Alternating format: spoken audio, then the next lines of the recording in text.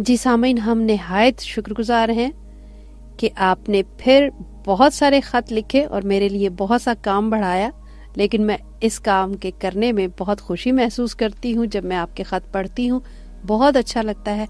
आपने इस प्रोग्राम को बहुत सराहा है, आपका बहुत बहुत शुक्रिया। और आपकी जस्तजू देखकर हम बहुत खुश हुए हैं और इस लगन को कायम रखिए, क्योंकि खुदावंद के कलाम में सीखने का जो मज़ा है, वो उसका बयान नहीं हो सकता वो ही हमें बचाएगा क्योंकि हम जब खुदा उनके कलाम को सीखते हैं बरकत पाते हैं और नजात हासिल करते हैं। जी जनाब आपका सवाल हम तक पहुँच चुका है बल्कि बहुत सारे सवाल हैं लेकिन उसमें से एक सवाल मैं चुनती हूँ बिशप साहब के लिए। बिशप साहब हमारे साथ मौजूद हैं हम उन्हें खुश आमदीद कहते हैं और सलाम अर्ज़ करते हैं। सलाम जी और आज ए, बड़ा स्पेशल सलाम है। ये लगता है कि काफ़ी आप लेटर रख के बैठी हैं तो इसमें कौन सी बात है जो ख़ास है? बिशप साहब, ये बड़ा अच्छा एक सिलसिला चल निकला है और मैं तो बड़ी खुश हूँ और मैं चाहती हूँ कि ये सिलसिला इसी तरह चलता रहे, जारी रहे। बड़ा अच्छा लगता है, हर हफ़्ते हमें सवाल पहुँच जाते हैं और उसमें से फिर एक सवाल मुझे चुनना पड़ता है तो मेहनत तो काफ़ी है, लेकिन मुझे अच्छा लग रहा है ये करके। आज फिर हमारे कुछ बहन भाइयों का जो मिलता जुलता एक सवाल था, उस पर मैं आपसे बातचीत करना चाहूँगी। और ये हमारे बहन भाई हैं जनाब जैक्सन है फेडरिक है लक्ष्मी है परमजीत है आरफा है अकबर भाई और मुन्ना। इन्होंने एक सवाल जो है उठाया है कि आपने पिछले एक दो प्रोग्रामों में और कलाम में भी उन्होंने पढ़ा है कि खुदावंद की रूह जो है वो पानियों पर जुम्बिश करती थी आपने भी बताया बाइबल में भी उन्होंने पढ़ा है। तो उनका सवाल ये है कि क्या जब दुनिया खत्म हो जाएगी तो फिर सब पानी हो जाएगा?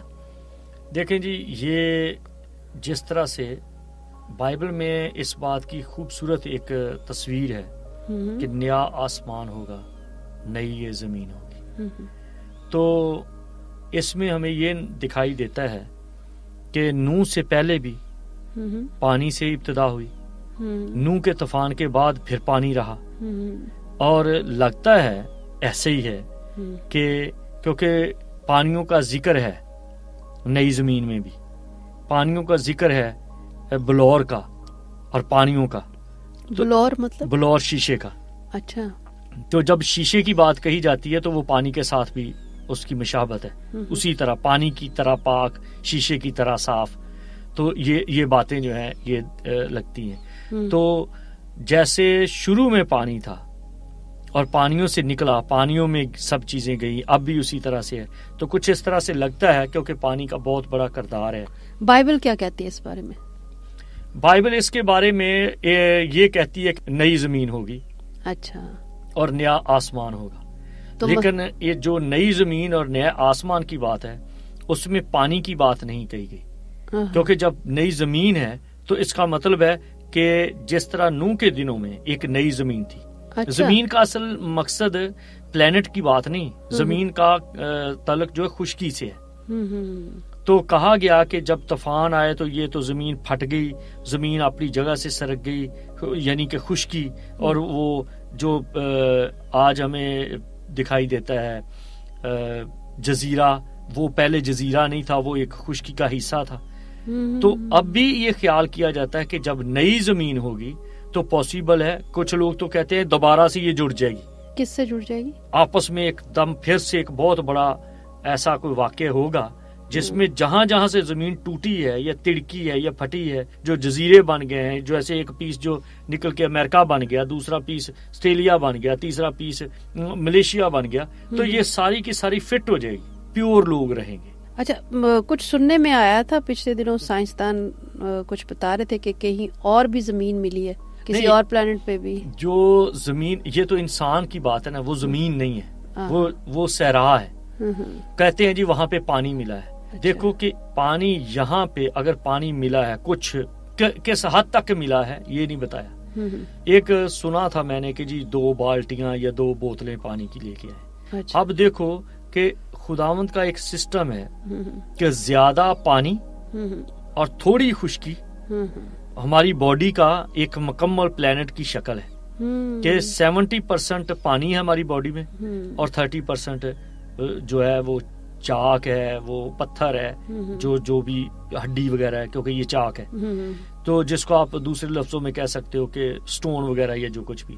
तो ये ये चीज़ें जब अगर इतना दूर गए हैं मार्स पे और वहाँ पे जाके उन्होंने पानी कुछ देखा या तो देखे ना मार्स पानी से भरा है तो फिर तो पता चले कि खुदा का प्रोग्राम है कि वहाँ पे आबादी हो अगर वो इतना थोड़ा है तो ये तो खुदावंत का सिस्टम ही नहीं ज़िंदगी के लिए हम्म। ज़िंदगी का सिस्टम जो है वो थर्टी पॉइंट सेवन वाला है हम्म। कि थर्टी इधर हो सेवेंटी उधर हो तो हम्म। फिर हंड्रेड परसेंट बन जाएगा तो इसलिए मैं इस बात का यकीन नहीं रखता एक दूसरी बात यह है कि वहाँ पर इसको ठीक करना और नई जगह जब कोई नई जगह पे शिफ्ट होता है ना तो होता है या तो डर गया और या थक गया। डर गया या थक गया फिर वो कोई सोल्यूशन ढूंढता है। खुदा ना डरता है ना थकता है। हम्म, हम्म। तो वो किससे डरता हुआ एक मार्स पे या किसी दूसरे प्लेनेट पे तैयारी करेगा?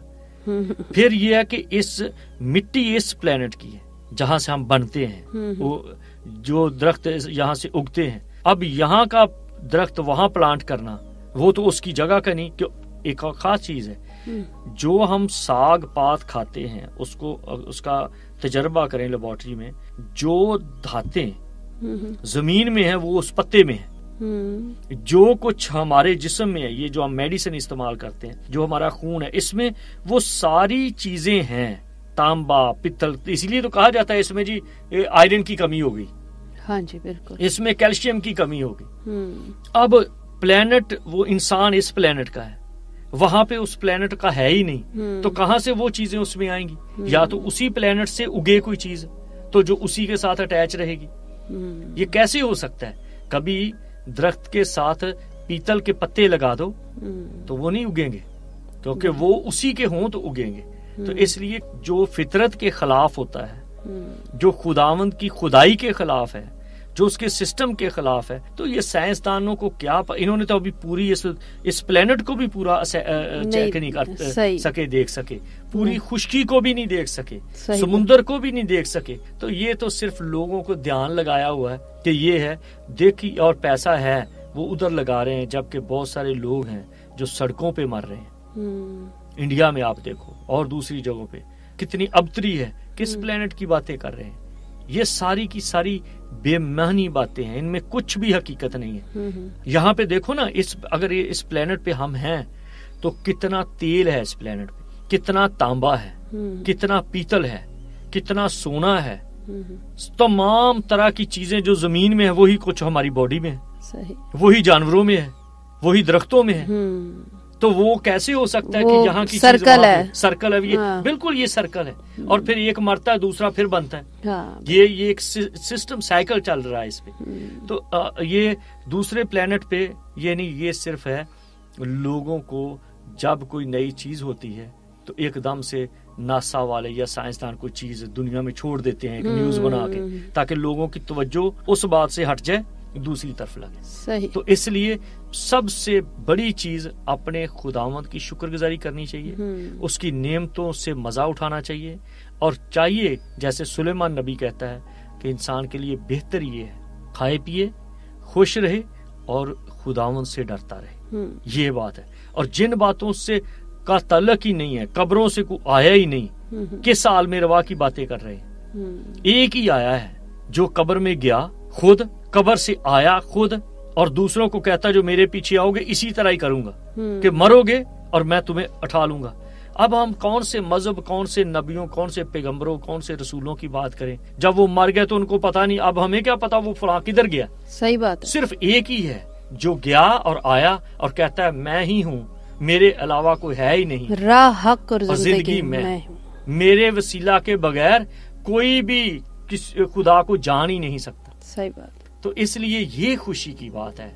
तो मेरे ख्याल में कोशिश तो मैंने की है इसको क्लियर करने की। अगर ना हुआ तो फिर भी मैं हाजिर हूँ। तो मैं ज़रूर अपने दोस्तों का साथियों का भाइयों का सवाल का जवाब देने के लिए तैयार हूँ। बिशप साहब हम बहुत ही मशहूर हैं आपके। आपने बड़े अच्छे तरीके से जो तवज्जो भटक गई थी, उसको वापस समेटने की कोशिश की है और मेरा भी यही ख्याल है कि हम सबने इस्तफादा किया है इससे और हमारे जो सामीन ग्रामी हैं, उन्होंने भी ज़रूर बरकत पाई है। तो बेशक इसमें कोई शक नहीं कि जैसा कलाम में लिखा है, हमें अपने खुदावन की बंदगी के लिए पैदा किया गया है।